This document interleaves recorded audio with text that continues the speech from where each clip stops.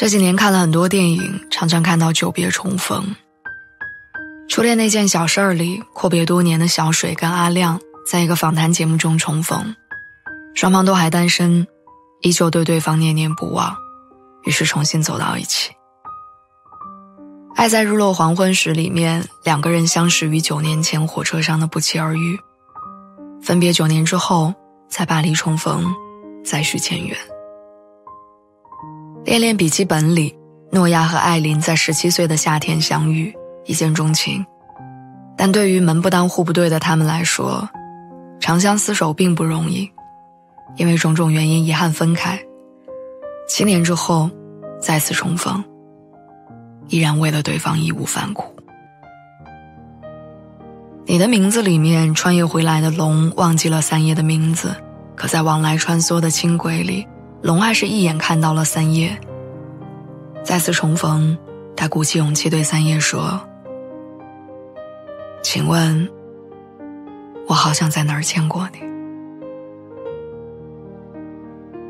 可是其实，人生当中没有那么多的久别重逢，多的是有的人一旦离开，就无法再次相见。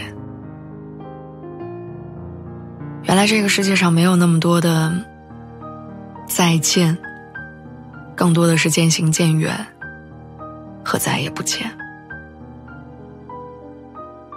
我记得令人心动的 offer 里，周深曾经感慨，当初参加《好声音》的时候，一起比赛的朋友们多少都有着音乐梦，但如今早已各奔东西，各自踏上了不同的道路。他说：“其实人生不一定有那么多的重逢。年轻的时候，我们总爱把……”永远挂在嘴边，我要和你永远在一起，你是我永远的朋友。哪怕在分别的时候，我们也信誓旦旦地跟对方约定说以后要常常见面。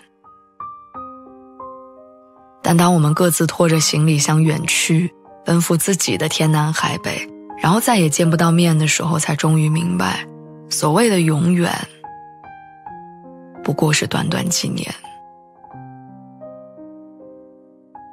很多人的一生都是在等待里度过的，等相遇，等重逢，等以后，等再见，等下次，等回头。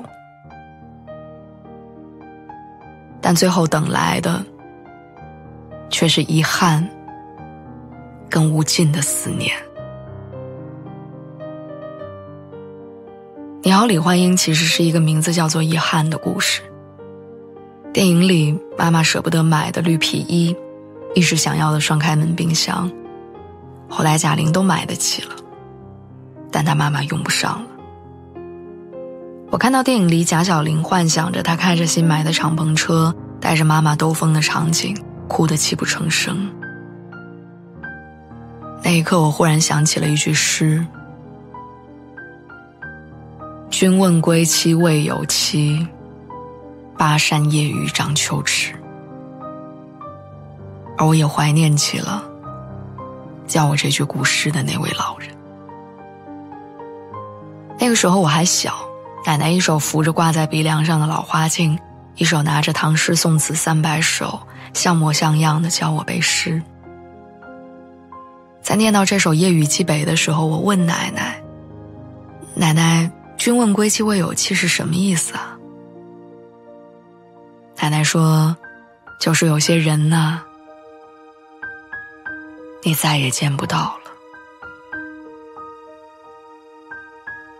《再见金华站》里说：“某天，你无端想起了一个人，他曾让你对明天有所期许，但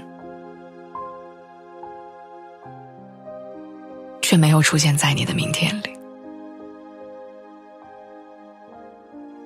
人生没有那么多的久别重逢，你能做的只有珍惜眼前人，过好当下。